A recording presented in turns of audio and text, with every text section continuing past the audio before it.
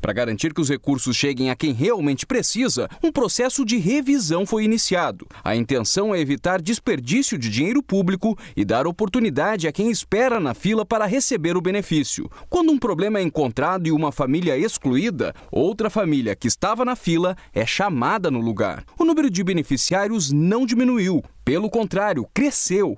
Mais de 12.609 famílias passaram a receber o benefício. Bolsa Família não vai acabar. Bolsa Família tem sido um programa valorizado pelo presidente Michel Temer, pelo governo Temer. Tanto é que deu um aumento e todo mundo que precisa do Bolsa Família e que recebe Bolsa Família sabe que desde julho estão recebendo um valor maior pelo programa do que recebiam. Eles ficaram dois anos sem reajuste Aí sim, houve um risco para o programa quando o governo Dilma ficou dois anos sem dar reajuste para o Bolsa Família.